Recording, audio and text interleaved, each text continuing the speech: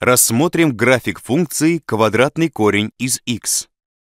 Для построения графика функции квадратный корень из x плюс 1 надо перенести график функции квадратный корень из x на вектор с координатами минус 1, 0.